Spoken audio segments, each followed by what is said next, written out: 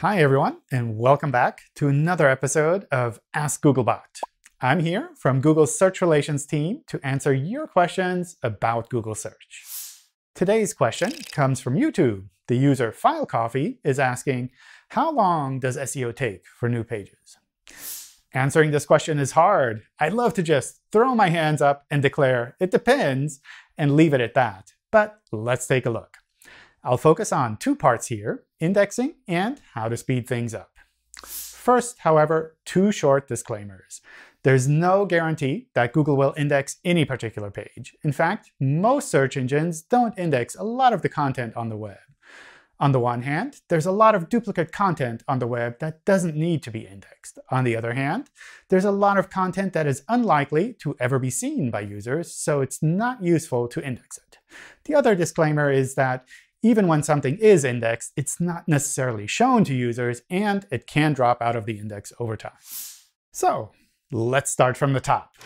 When a new page is published on a website, it can take anywhere from several hours to several weeks for it to be indexed. In practice, I suspect most good content is picked up and indexed within about a week.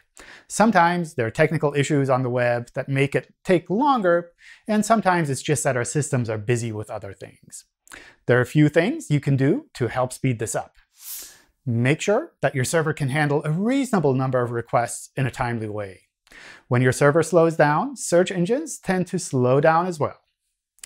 Link to your new pages prominently within your website. The easier our systems can recognize that you think this is an important page, the easier it is for them to prioritize crawling and indexing of it. For example, if your website is for e-commerce, it helps our systems to find links to your new products on your homepage so that we don't have to crawl through several layers of categories to find them. Avoid filling your website with unnecessary URLs.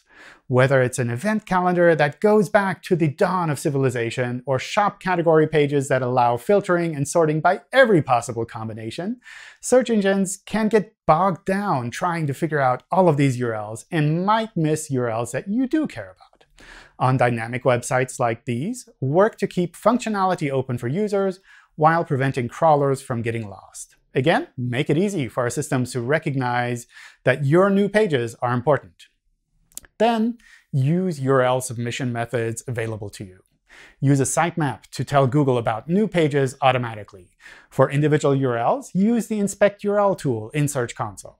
Last, but definitely not least, keep your website's overall quality high. Taking a step back, the easier it is for our systems to recognize that your website is critical for users on the web, the better they can prioritize the website for crawling and indexing. This is easier said than done, of course. And just to get back to our disclaimer, forcing something to be indexed does not mean Google will show it prominently in search, and it does not mean that it will remain indexed. The best way to improve those parts is to make your site fantastic overall. So, in short, there are a lot of aspects that come into play with making new pages visible in search. There's no absolute timeline for any of these steps, and they can change over time. Apart from the technical issues, it's also important to keep the overall quality of the website in mind. Google systems want to recommend fantastic content to users as quickly as possible, so it's always worth focusing on that. And that's it for this time. I hope you found this episode useful and insightful. See you in the next episode of Ask Googlebot. Don't forget to subscribe to see the next episodes.